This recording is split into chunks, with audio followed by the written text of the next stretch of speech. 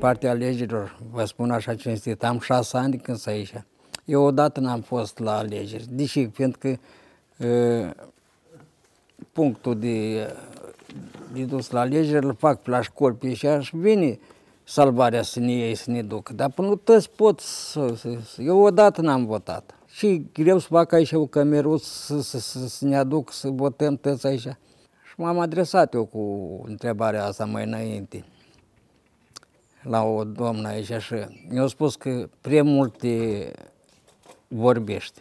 Și de poliția la poartă și îmi dau voie să vii încoace cu votarea. Când era aici, vine cu votarea, vine, votam, dar încolo nu m-am dus. Că eu am probleme în, în sat. În Cocier, da am probleme cu pazvănocicul și în greu știu cineva să mă ajute, să ridic și când șed așa, dacă să-mi dă să mă ajute, să mă apuc durerile. Nu votăm, nu dă voi, nu. Dar asta nu-i drept. Noi suntem grajdanul Moldova. Noi trebuie să votăm. Și aici nu vin cu, cu alegerile, deloc. Atunci când era Partidul Comunist, ne arată, e ca ei și scăliți. Dar eu zic, doamnă, eu nu sunt oarbă. Eu am uh, părerea mea și știu unde să mai... Mi-a arătat în, în dreptul Partidului Comunist. Când sunt alegerile matale, cum știi pe care candidat să votezi? De cum, de până spun. Ah, cine vă spune? nu știu care șede pe masă.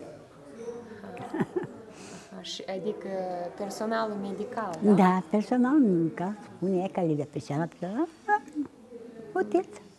Dacă vorbim despre cazurile de la cocieri sau persoanelor internate în instituții, cu dizabilitate sau fără, consider că da, vârstnicilor le sunt violate drepturile pentru că nu pot să-și exprime liber votul, cu atât mai mult nici nu sunt informați despre concurență electorală sau să obțină, nu, nu au de unde să obțină mai multe informații decât le oferă statul sau instituția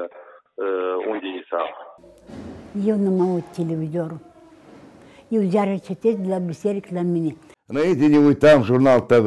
Dar am pus Ucraina, Ucraina și Rusia. De cine trebuie Ucraina și Rusia?